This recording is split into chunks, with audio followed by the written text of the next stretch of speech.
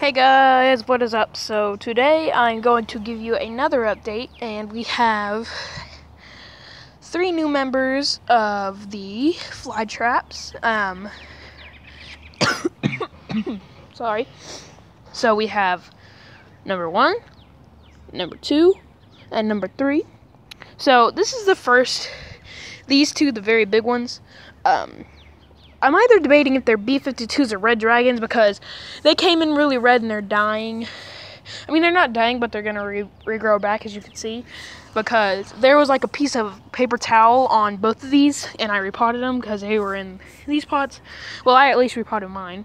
And then this one is my Nana's that she got from Walmart, and she was growing it Miracle-Gro, and if you didn't know, you're not supposed to grow these plants in Miracle-Gro. They literally evolve to get their nitrogen and phosphorus um, through catching insects um, instead of getting it through their uh, roots, and that is because it will burn the roots. And a little other update I have this flower and this flower from my Walmart Venus flytraps. This is the third one that I gave to my teacher, and it's not doing too good. Um, I'm going to try and revive that one. So these two, I'm gonna let these two flower, and I am going to, oh yeah, the seed propagation, or the, the flower. I'm gonna put the seeds in here, and I'm going to see if I can get them to seed grow instead of just getting them from like a random dealer. That sounded, anyways. Um, I'm gonna try and get these from seed and these big ones right here are doing very well and also the little ones are starting to get little sprouts. Um, so anyways i'm gonna put the seeds in there. Um, and then here's the here's the flower propagation. Nothing has really happened yet so yeah. And also i have meaning to t- I have been meaning to tell you something tell you guys something.